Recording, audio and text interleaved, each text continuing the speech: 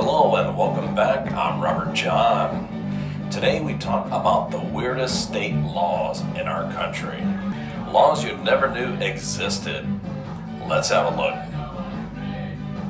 If you find yourself in Oregon, would you believe that you are not allowed to throw your poop out of a moving car? So much for tossing it on a porch on fire, then ringing the doorbell. Florida has a law against midget tossing. So next time you decide to throw mini-me through the air, it could cost you a big fine for such a little incident. Little things can add up just like the cost of your fine. Nebraska has a law that no persons with an STD can marry. Unless you want your wedding cake to look like this, I would stop and think before you go planning that bachelor or bachelorette party.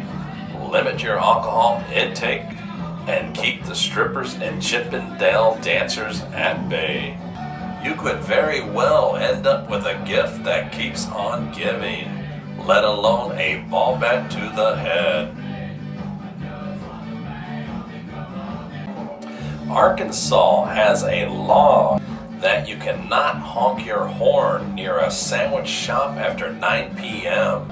So if you're out after dark and see a pretty gal near a subway, a simple hey is better than honking your horn and paying a hefty fine. In Colorado, it is illegal to keep a couch on your front porch. I'd say if you fight with your spouse, there are other places to sleep. A car would work for one.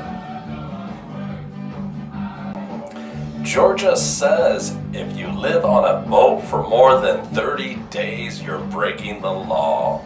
So if you find yourself lost along the coastline over a month on a small vessel with no food or supplies and sharks are circling, I'd say if the law doesn't get you, the sharks will. New Mexico points out that idiots and morons are banned from voting.